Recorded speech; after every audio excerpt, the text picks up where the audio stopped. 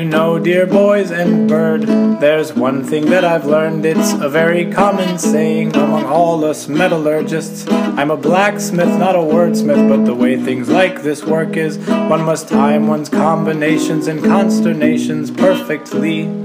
Take the baker, for example, for dough can be a handful. He needs to knead and let it sit and rise, but he must not forget to make the fire in the oven ample. I think by now you've got the answer that you've sought. The way to win dear Adelaide's heart is to strike while the iron is hot.